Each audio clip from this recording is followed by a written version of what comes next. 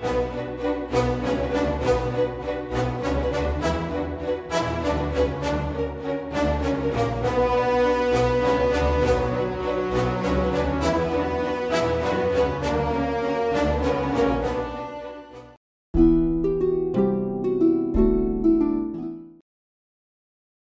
Welcome back everyone, it's Neil here from 3D Tudor, back today with another, another amazing geometry node, and this time we're covering things like potions, cauldrons, and water ripples. So it is an all-in-one geometry node, fantastic value, and the links of course will be down below. If you like this video, like and subscribe.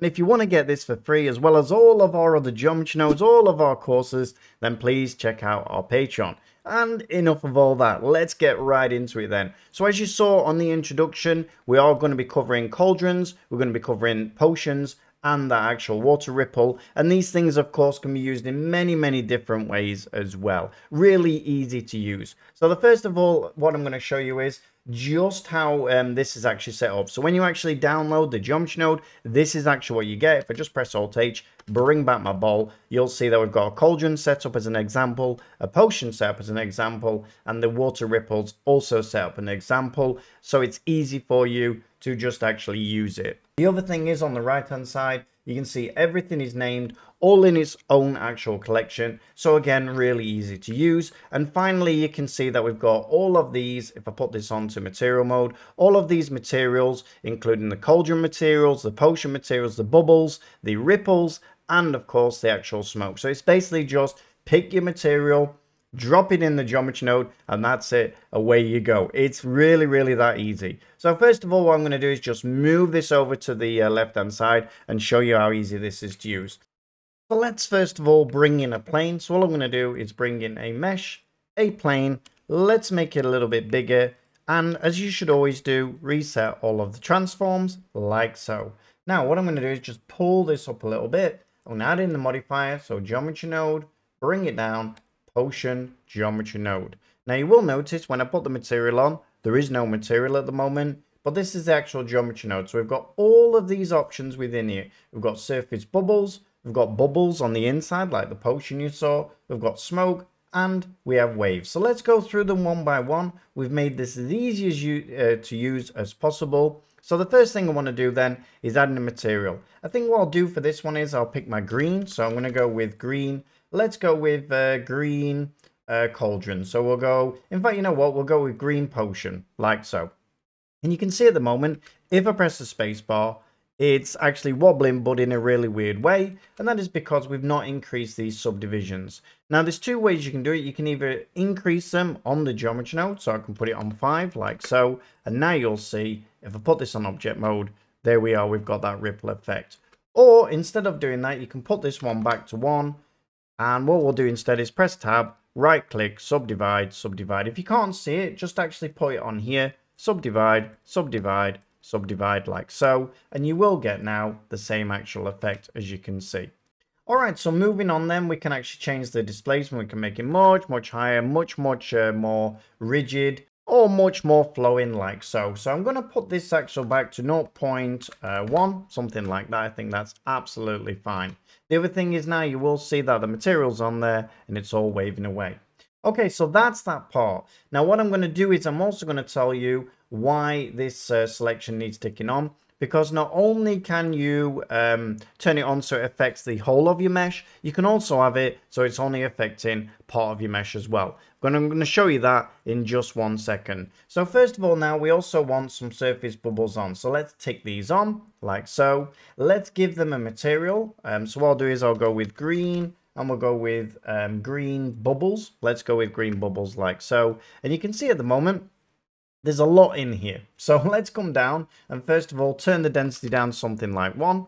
And now you can see that's looking much better. Let's also turn the scale up just a slight bit. So let's turn it up something like there. And then what we can also do is we can either delete them near the edge so you can have them popping out of the edge if you want to. Or you can actually delete them near the edge and then increase the distance to the edge or how far we'd actually delete them from the edge like so. All within the actual geometry node and you can see you can get exactly what you actually want. Alright, so that's the surface bubbles. It's as simple as that. Everything is pretty much set out how you need them.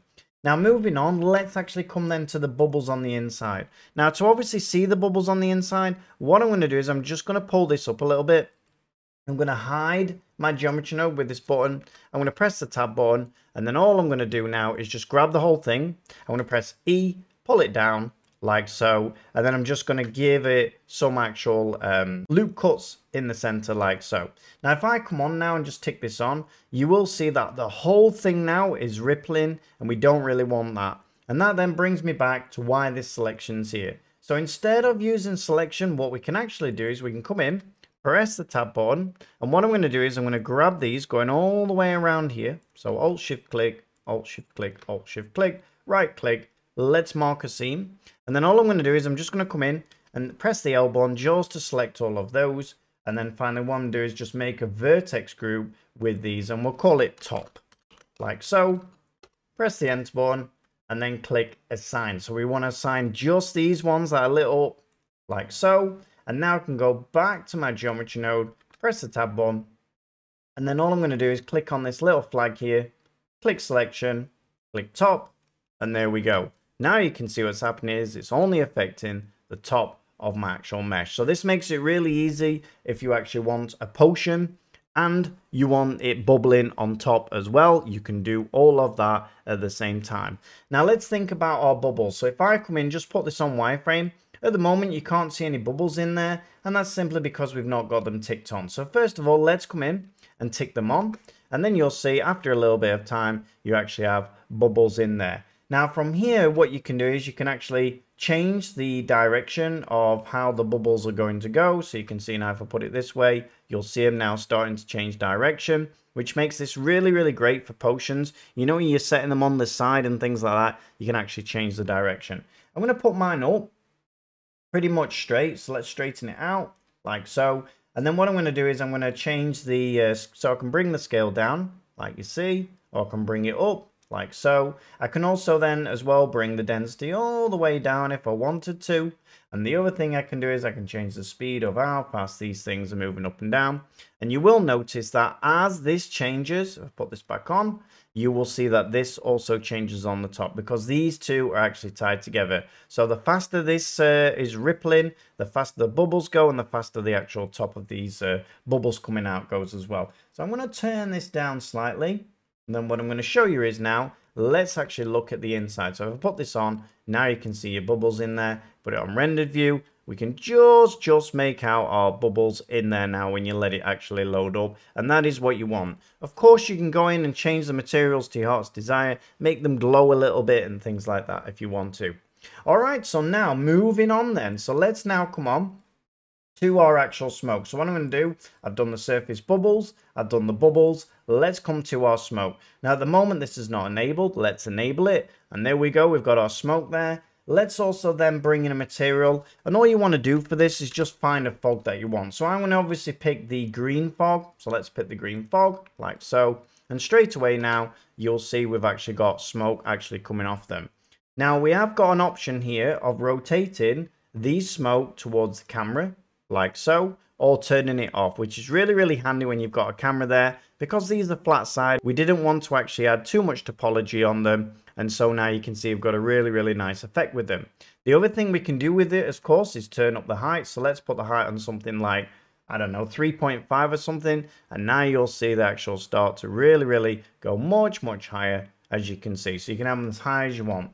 You can also change the speed as well, so let's change the speed up something like this. It does take a little bit of time, but now you can see that we've got a really, really high actually amount of smoke. So you can see as well, even with the smoke, there's tons and tons of actual options to do or get out of it, whatever you want to get out of it. We can also as well change the density. So let's make that smoke really, really thick now. Let's increase it like so. And it's as simple as that. All right, so finally then, finally then, we've got our actual waves. So what I'm going to do now for the waves is I'm going to actually, in fact, you know what? I'll just turn off my smoke just for now, just so you can see it a little bit easier.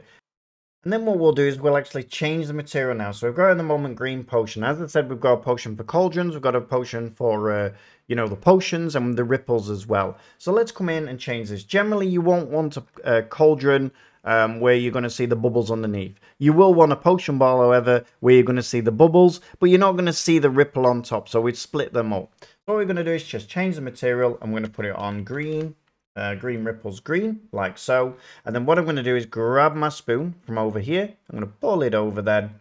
And then let's make it a little bit bigger, put it in place, like so. Let's also spin it round, so RZ, spin it round, like so. All right, so let's come back to this. Now we've uh, turned off our smoke, let's put this up. Let's uh, open up our ripples, so waves. Let's click enabled and let's put it on the ID. Now, what is the ID? Well, first of all, you'll notice that this uh, spoon here is put in ripple meshes. Whether that be a cube, a sphere, it doesn't really matter as I'll show you. Just make sure you put in a collection and then once you've got the collection, it can it doesn't even have to go in this collection, it can go in any of your own collections. Come on over here and just go to ripple meshes. And let's also just make sure that our plane which is this one there isn't in there as well. So in other words this is not in there. All right so now you can see you've actually got ripples. If i press spacebar you can see we can now in increase the speed of these we can increase the intensity of these like so and have them exactly the way we want. And now also if I grab my spoon and move it, you will see that as I move around, those ripples actually move with the actual mesh. If I drop this here as well, bring in, let's say we'll bring in something like a, let's bring an icosphere in, and then what we'll do is we'll move that up. So I'll just pause the actual animation, and you can see straight away now we can also have that in there as well. So really, really handy, really, really easy to use. Now, the last thing that I want to tell you is, how do you bring this into another project? Basically, all you're going to do is you're going to grab anything, and I mean anything. So if I come in, and let's pause it, let's bring in a cube. So mesh, cube, bring it here, and then all I'm going to do now is just add on a geometry node, and then just bring in the potion geometry node, and now you can see it's on there. All I'm going to do then is open a new blend file. So let's open a new blend file. So here we are in our new blend file. I'm going to go back to the original blend file. I'm going to press Control C on my cube, come back, press Control V, and there we go. Now everything is in here. Now the only thing that won't be in here is all of the materials and things like that. I'll just bring in the material that is being uh, used on the geometry node.